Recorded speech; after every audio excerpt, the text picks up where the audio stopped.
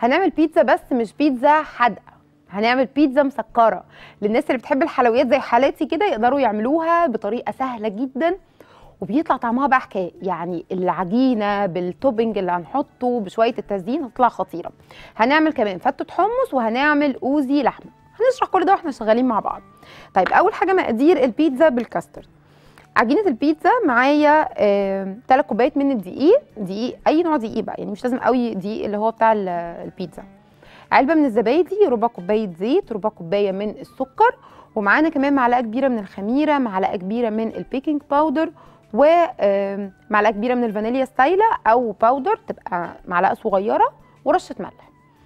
زي مقادير البيتزا العادية بس نسبة السكر أعلى وحاطة فانيليا. تمام؟ ورشة ملح طبعا. في العادي بنحط نص معلقة صغيره للوجه بقى هزينها بايه ممكن تزينوها بأي حاجة في الدنيا. كريم شانتيه. بعد ما تبرد طبعا هي بتتخبز فاضية. آه سكر. صوص كراميل. آه بودنج شوكولاتة. ممكن أحط فاكهة وشوية حليب مكثف أو سكر بودرة. براحتكم بقى التزيين ده بتاعكم أنتوا. أنا هزينها بحاجتين. كاسترد وسكر وصوص كراميل وشوية موز وزبدة سايحة كده تديني آه طراوة وتديني تلميعه حلوة للعجينه طيب تعالوا نشوف المقادير مع بعض. هنشتغل واحدة واحدة إزاي؟ مقاديرها سهلة جدا وبسيطة وبتطلع النتيجة بتاعتها خرافة. في على فكرة مطاعم بتقدمها يعني مش مش اختراع أقصد. في مطاعم بتعملها وبتبقى غالية جدا وهي شوية مكونات بسيطة. فتعالوا نشتغل مع بعض واحدة واحدة. أول حاجة معايا هنزل بالدقيق. ننزل بكمية الدقيق كلها. وهنزل كمان بالخميرة وكمية السكر. اللي أنا خدته حالا ده. عايزة أقول لكم طعمها بيبقى روعة وما بتاخدش وقت. وللناس بقى اللي بتحب البيتزا وبتزهق منها حادق فتقدروا تعملوها بالطريقة دي يطلع معاكم حكاية إن شاء الله هتظبط من أول مرة. وكمان ال baking powder فاضل معايا إيه؟ الفانيليا. رشة الملح الأول رشة ملح بسيطة. ماشي. هقلب كده المكونات دي مع بعض. تعالوا كده نقلبها من هنا. بس تندمج مع بعض مش مش كتير يعني مش مدة كبيرة. واخد شوية الزيت. ممكن طبعا نبدل الزيت بزبدة بس أنا مش عايزة أعلي التكلفة لأن البيتزا دي هيبقى عليها حاجات من فوق آه كتوبنج فهتبقى مكلفة برضو مش قوي. أنتوا ممكن تعملوها بأي حاجة موجودة. بس الفكرة في إيه؟ الزيت بيخليها خفيفة جدا.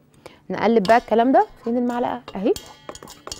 الزيت بس يختلط كويس وأبتدي بقى اهو. وننزل بقى بالزبادي. ومش لازم اصفي المية بتاعتها يعني هسيبها بالمية بتاعتها عادي. أنا هستخدم علبة زبادي اللي هي ال 105 جرام مش مش العلبة الكبيرة.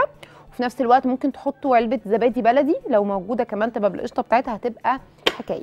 هقلب المكونات دي كويس جدا مع بعض وبعد كده ببتدي أعجن بالمية الدافية آه، أو حليب أو رايب على حسب المتاح عندكم.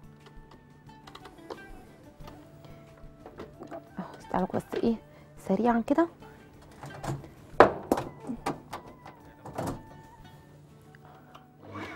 بس كده. تعالوا بقى نشيل حاجتنا. وناخد شوية دقيق حتى من هنا نرشه بس على وشها. وانتوا كمان لما تيجوا تخمروها ما تخمروهاش وهي عجينة كاملة. يعني اسموها نصين وسيبوها بعد كده تخمر. شايفين بقى كمية الهواء اللي فيها دي بقى لها حوالي ساعة إلا ربع. فانتوا كل ما بتسيبوها كل ما مش هتحتاجوا أصلا نشابة. يعني شايفين أنا اللي بفرده ما بيلمش ما بيردش عندي تاني. يعني أنا ممكن أفردها أصلا بإيدي.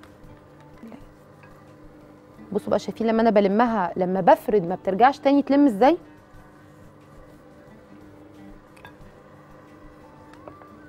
واخدها كده. حسيتوا إن في سنه تلزيقه عادي زودوا شوية دقيق.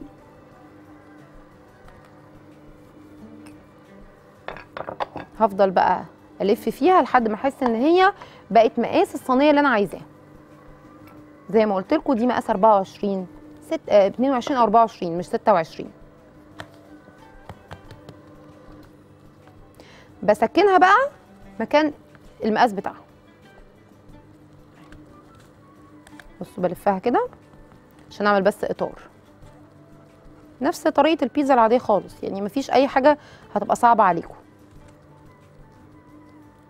واعملوا لها طرف عشان أنا هحط عندي حشو يعني هي بتستوي كده هي مش بتستوي بالحشو. بس الفكرة عشان لما آجي أحط الكاسترد أو البودنج أو الكريم شانتيه ما ألاقيش إن الحاجة نزلت من عليها. يبقى في كده زي سور عشان يحميني الحشو اللي جوه. باخد بقى شوكة وبفضل أعمل فيها كده مش عايزة حتة ما فيهاش التخريمة دي عشان ما ترفعش في الفرن لأنها فاضية. في العادي لما بنعمل البيتزا العادية اللي هي الإيطالي أه بقول لكم خرموها شوية بالشوكة. لا أنا عايزة دي مش عايزة حتة ما يكونش فيها شوكة حتى الأطراف.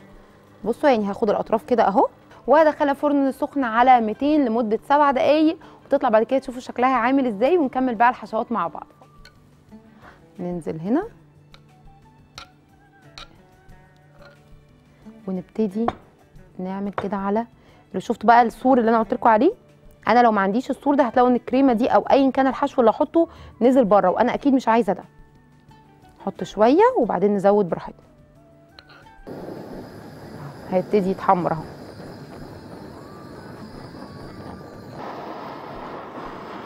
ده بقى لما السكر بيتكرمل أو بيتحمر كله بيعمل طبقه مقرمشة. فبتبقى حكاية بعد كده. نكسرها كده.